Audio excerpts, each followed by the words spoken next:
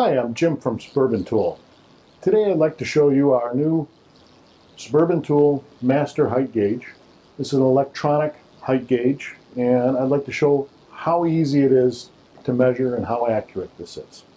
First thing I want to show you is we're going to measure the diameter of a hole and it'll also give the location of the hole.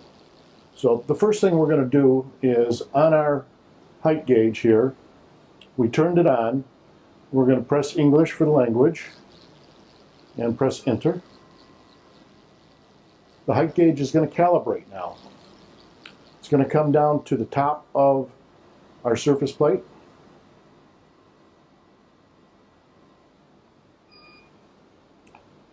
Height gauge is calibrated.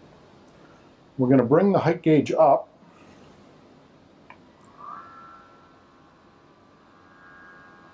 And what we're going to do is we're going to measure the diameter and location of this hole right here. So to do that, we're going to move this so that it, the probe is inside the hole. And then we're going to come to our screen here and we're going to go to the inside, which is 8.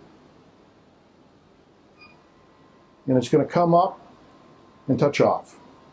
Once it beeps, that tells me all I have to do is just slightly move this so that it can find the top it's going to beep and it's going to go down and find the bottom. It beeped again, so I have to move it just a little bit more. On the screen, that's going to tell us that that hole, the bore diameter, is 1.5759, and the location, the center of that hole, is 4.7457 from our granite surface plate.